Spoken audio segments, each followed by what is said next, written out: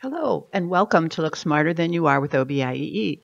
This is the second part in the series on importing ASO Essbase databases into the repository. Now, our measures dimension is here, and Essbase people know measures. Hey, that's where I keep my, my numeric data, right? Everything else in here, area code, geography, income level, products, promotion, square footage, all of that really just describes, it's the metadata that describes my measures. Well, OBI handles things a little bit differently. So it takes the dimension that you tag with that accounts tag and it generates this one column down here where all your numeric data is basically aggregated. And when you build a report, you bring this one column in and then you use all these other members to again describe it. And that's how you build a report. That's how OBI gets its super fast response times. Now, a lot of people don't like that. They, they, oh, this single column, it's, I don't like it. So again, you can simply come up to the database, right click, and you can choose to flatten your measures. Now, one word of caution, this is fine if you have a very few amount of measures. If you have thousands of measures, you do not want to flatten them. OB will also generate an error for anything over 200 members. So again, if you have a lot of calculations, people say, well, I need to do calculations. I can't do that with everything in one column. The place to do your calculations, in my opinion, is Essbase. OBI can do some calculations. It's not that it can't. It's just, why would you not want to take advantage of the best calculation engine right there at your fingertips? So that would be my suggestion to you is as much as possible, calculate in Essbase, report in OBI. Use the right tool for the job. Life will be a lot easier. So, all right, hopefully, uh, let me see. You're still with me. I didn't confuse you there. But again, all your numeric data sitting right here now in one column. And let's pretend for just a moment that our measures dimension, which really isn't that deep here, it only goes down, oh, about three generations apparently. And notice how I see Gen 1, Gen 2, Gen 3. That's how it looks in Essbase. Um, a little bit of a difference here. I do have my ancestor references showing here in my lower generations. So that, again, just lets me know. That helps OBI find the ancestors. Without that, it would not be able to find it. The member key, of course, is for the generation. And again, the memnor column is how the sort comes from Essbase. So it will sort in outline order that way. So that's kind of what everything looks like right now. I'm going to right click the database and talk about some of the options that we might not do that, that we might do there. So I'm going to go ahead and go down to properties.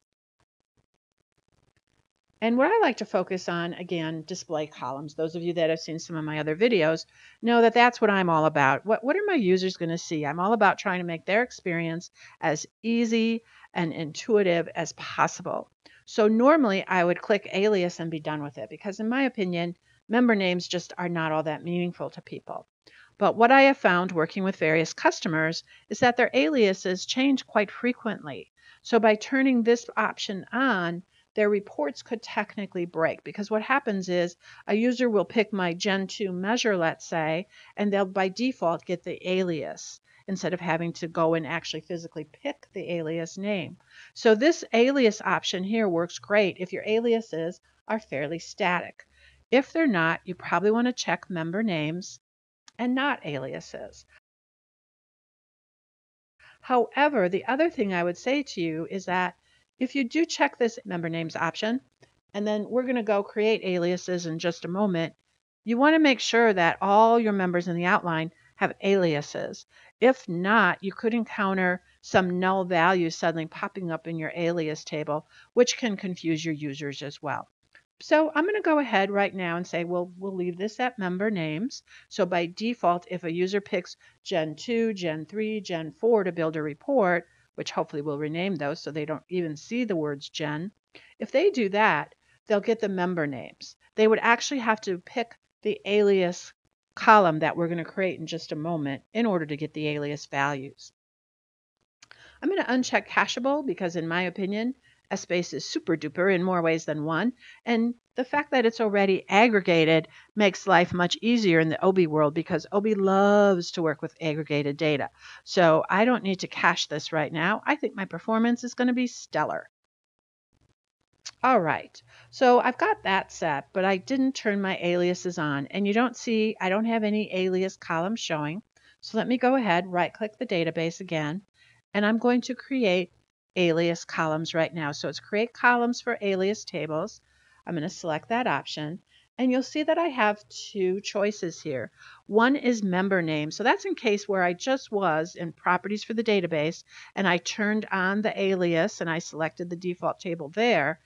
I could come here and create separate member name columns. So again, the member names can be used to create the reports, but the aliases show in the reports. So it sounds confusing, but I can show both in OB. I can have the member name and the alias if that's what I want. But right now, I want to create alias columns using the default option. So I'm going to select that, click on Create, and you will see when I open up my generations now that I have some alias names. So let's go back to measures, because that's where we were before, and take a look. So now you can see I have a Gen 1 measures dash default column. So yeah, and if I opened up products, you would see the same thing. Every column, multiple hierarchies here,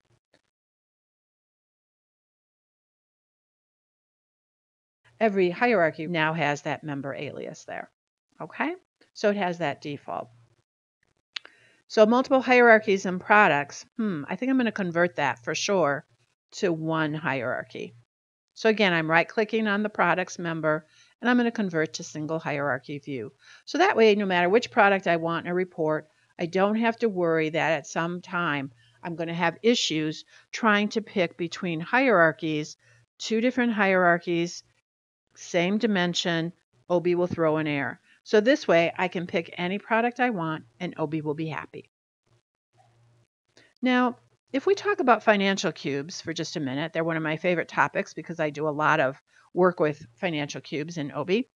And generally speaking, the measures are, of course, my chart of accounts, where I have thousands upon thousands of members and I have very deep dimensions going down possibly to generation 19 or even 20 sometimes.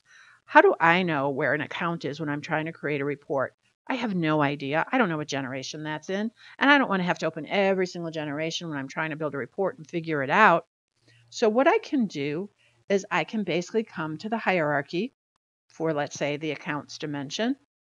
Any dimension this will work on, I'm simply going to right click on the hierarchy and I'm going to go down to the properties for the hierarchy. Yes, every hierarchy has a type assigned. So by default, OBI assumes that Essbase is unbalanced. So I'm going to click here and take a look at my hierarchy types, and I'll see that there's a fully balanced option, which is for that perfect cube that is just wonderful, right? It's very symmetrical, just absolutely perfect. Every member has children, so that kind of thing. That almost never happens in the real world. So unbalanced is the default, and unbalanced is I'm skipping generations. So I might go from my dimension header down to a city. For some reason, there are no states for these cities. So I'm skipping a generation. That's what unbalanced means. Ragged balanced is that there are children missing. So some of the parents have children and some have no children.